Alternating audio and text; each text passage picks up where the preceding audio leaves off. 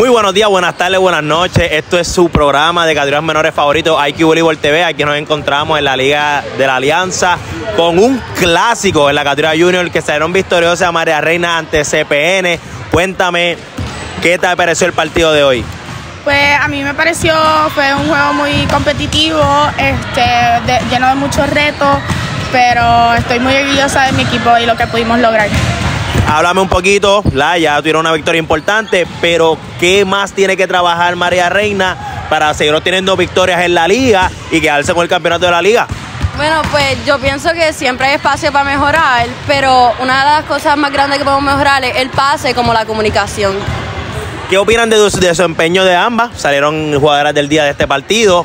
Hábleme de su desempeño y que usted entiende cada una que debe mejorar personalmente. Eh, pienso que debo de mejorar el pase y eh, las, o sea, en dónde voy a rematar y las decisiones que tome. Perfecto, ¿y tú? Yo pienso que yo puedo bloquear más porque este partido no bloqueé, mu- no bloqueé mucho y también eh, como que moviendo la bola, no darle tirar dinks y eso. Perfecto, perfecto. Son las dos jugadoras del día. Recuerden que vamos a estar dando los resultados y trayéndoles cierto, ¿verdad? Ciertos videos, ciertos highlights sobre la Liga de la LAG y también de la Liga de la Alianza. Así que no se vaya, sí ya.